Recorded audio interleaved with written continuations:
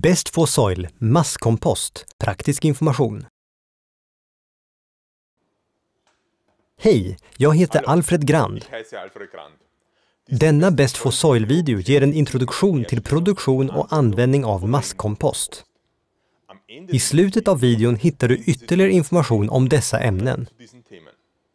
Se de andra Best for soil-filmerna om kompost och jordhälsorelaterade ämnen. Kompost är resultatet av mikrobiell nedbrytning av organiskt material med tillgång till syre.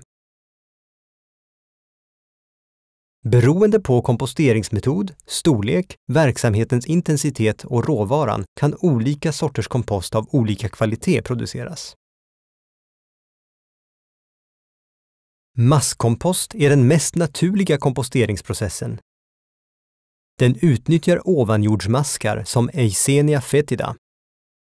Det är viktigt i denna process att temperaturen inte överstiger 35 grader Celsius. Annars kan maskarna dö. Maskkompost har den största mångfalden av mikrober och processen anses effektiv för att hämma vissa smittämnen. Men processen dödar inte ogräsfrön. Därför rekommenderas en kombination av varmkompostering och maskkompostering när man arbetar i större skala. På grund av masskompostens särskilda egenskaper används den vanligtvis inte som vanlig kompost och sprids inte intensivt på åkrar. Förutom en mikrobiell mångfald har masskompost en högre näringstäthet med näringsämnen som är mer lättillgängliga för växter. Dessutom innehåller masskompost betydande mängder växthormoner såsom auxin, gibberellin och cytosinin. Masskompost har inte bara högre kvalitet än varmkompost, utan det kräver också betydligt större ansträngning att producera den.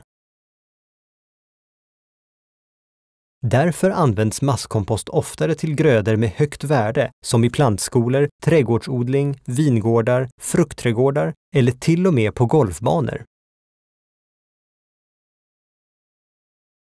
I vanliga åkrar kan lösningar och fröbehandlingsmedel gjorda av masskompost användas för att förbättra jordhälsan, även med så små volymer som en liter per hektar.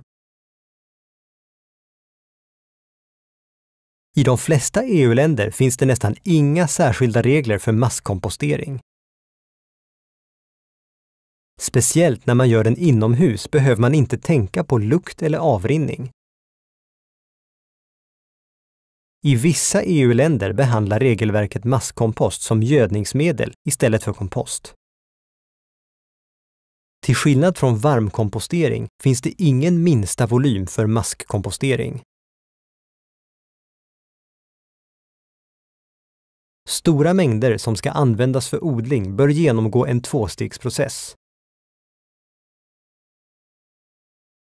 Första steget är varmkompostering för att döda ogräsfrö och smittämnen. Detta steg bryter också ner materialet, homogeniserar och mjukgör det och hjälper till att stabilisera materialet vilket annars skulle höja temperaturen i masskompoststeget senare och döda daggmaskarna.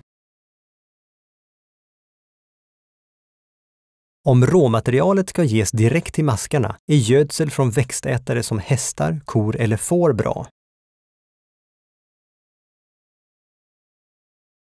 Om man varmkomposterar före masskomposteringen kan råmaterialet vara mer varierat. Materialet som maskarna får bör ha en kol-kvävekvot mellan 25 och 1. Maskar har ganska bestämda miljökrav för att ge högsta möjliga produktivitet. Detta bör övervakas och kontrolleras regelbundet. Den bästa temperaturen är mellan 15 och 30 grader Celsius, då maskarna bara kan leva mellan 0 och 40 grader Celsius. Deras föredragna fukthalt ligger mellan 60 och 80 procent. Luftens syre måste alltid finnas tillgängligt i masskomposten. Därför måste råmaterialet ha en bra struktur. pH-värdet bör ligga mellan 5 och 8 och salthalten får inte vara för hög. Professionell masskompostering kan ske året om. Om det lokala klimatet inte tillåter produktion ute på vintern kan den ske inomhus.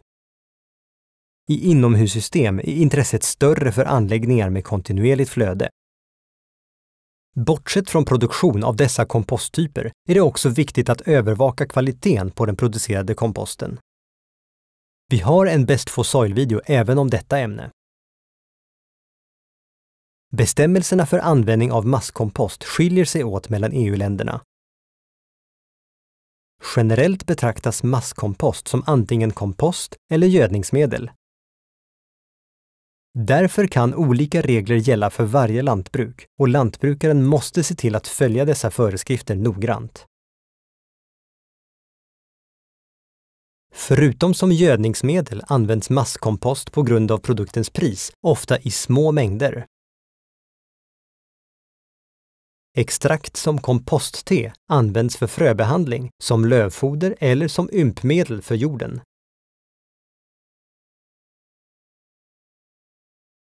Maskkompost kan också användas i såmaskin, till jordförbättring eller som en stimulator vid plantering av vingårdar eller fruktträdgårdar. Kompostproduktion är en process som kräver mycket kunskap och en del erfarenhet för att man ska få en bra produkt. Om du vill ha mer information om kompostering så titta på webbplatsen Best for Soil där det finns ytterligare resurser.